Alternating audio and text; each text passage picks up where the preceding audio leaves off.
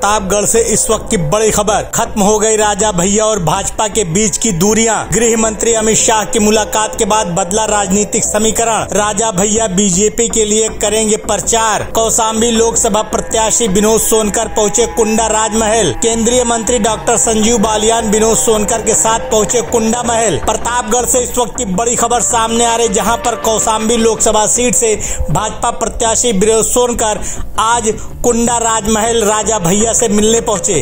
आपको बता दें कि इस मौके पर केंद्रीय मंत्री डॉक्टर संजीव बालियान भी मौजूद रहे। गृह मंत्री अमित शाह से मुलाकात के बाद भाजपा और राजा भैया के बीच की दूरियाँ खत्म हो गई। सारे गिले शिकवे खत्म हो गए।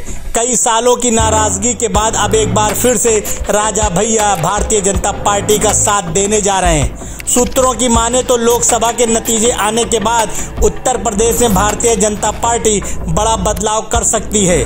सूत्रों की माने तो राजा भैया को एक बार हाईकमान की तरफ़ से उत्तर प्रदेश का मुख्यमंत्री भी बनाया जा सकता है। प्रतापगढ़ से ये खबर हमारे संवाददाता दया शंकर पांडे ने कवर की है।